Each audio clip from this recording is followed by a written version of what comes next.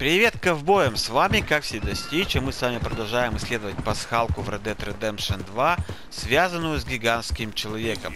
Необходимые условия для ее выполнения вы должны изучить 30 животных в игровом мире. На этот раз мы с вами будем пробовать выполнять эту пасхалку, играя за Артура Моргана. Кто не смотрел прошлую серию, обязательно посмотрите. Ссылку я оставлю в описании. Там мы с вами пробовали играть за Джона Марстона. И мне написали в комментариях, что разговор с гигантским человеком Артура отличается от разговора, если бы вы играли за Джона Марсона.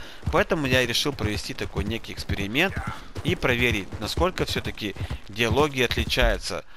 Э, кто не смотрел прошлый ролик, я вкратце напомню, что вы должны приехать к поселению Вапити, это поселение индейцев, и увидеть взлетающую стаю птиц рядом с мостом. И затем вы должны следовать за вот этой стаей, и она вас приведет к пещере, где скрывается гигантский человек. К сожалению, увидеть не получится этого гигантского человека, потому что он спрятан за огромной глыбой камней. Но в этом ролике все-таки мы с вами попытаемся проникнуть в эту пещеру.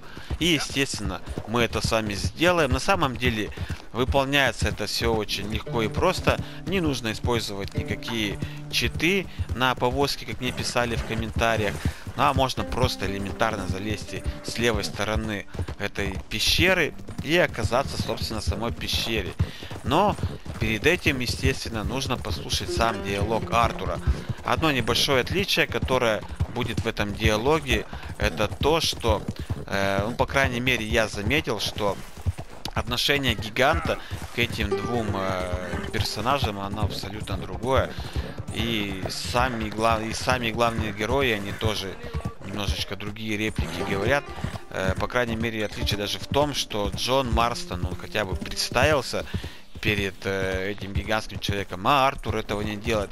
Ну и многие говорят, что голос Артура Моргана, он более приятен на слух, чем голос Джона Марсона. Поэтому пиши комментарий, как считаешь ты, э, чей голос тебе больше нравится. Голос Артура Моргана или все-таки голос Джона Марсона. Ну а мы с вами приближаемся, уже практически приехали, можно сказать, к этой пещере. Я ничего вырезать не буду, все будет писаться одним дублем, ну и, естественно, видео тоже будет идти без всяких вырезок. Э, примерно оно будет, наверное, минут 6 чем-то, может быть 7, посмотрим конце. И мы с вами подъезжаем к этой самой пещере. Поэтому давайте послушаем вместе с вами диалог и потом разберем, какие отличия все-таки были.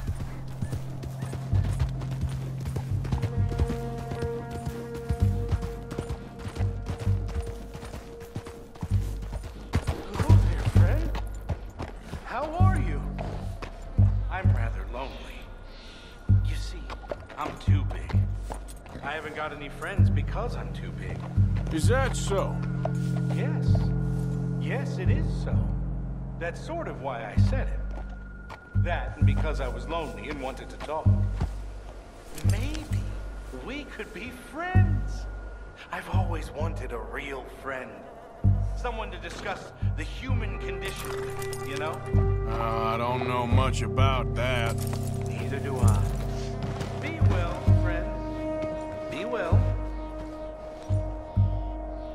Итак, мы с вами послушали диалог, первый диалог гиганта с Артуром.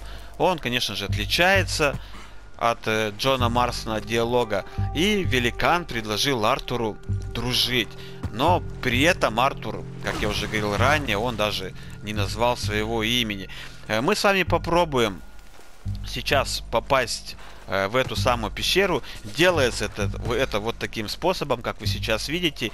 Нужно э, раз, разогнаться и нажимать прыжок на квадратик и запрыгнуть, собственно, на эту самую скалу. И вы оказываетесь вот здесь, рядом с этой пещерой. Попасть в нее сейчас не составит абсолютно никакого труда.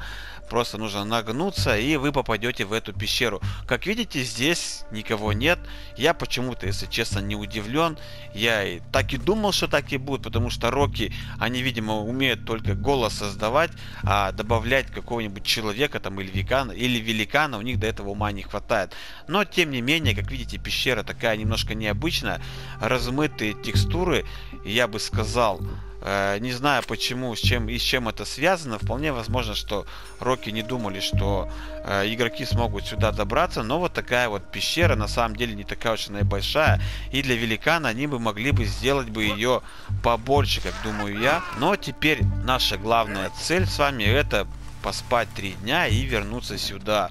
Я уже говорил в прошлом ролике, что не получится вам сразу же поспать 72 часа, потому что Э, главный герой высыпается и появляется сообщение, что ваш главный герой выспался и попробуйте повторить действие позже. Так, ну и через три дня мы с вами возвращаемся сюда и слушаем диалог.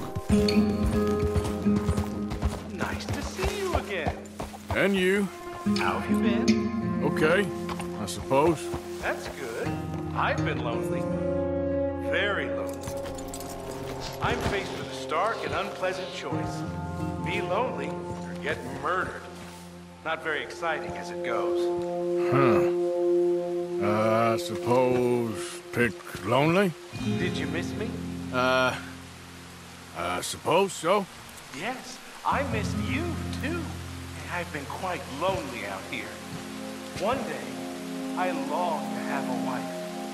But women can be so cruel. Nobody wants large children. They eat too much. It's very sad. Ну, как видите из диалога, гигант излил душу Артуру и сказал, что он хотел бы жениться, но женщины на самом деле очень жестокие, потому что никто не хочет растить большого ребенка, потому что он очень много ест. Вот такой вот интересный диалог.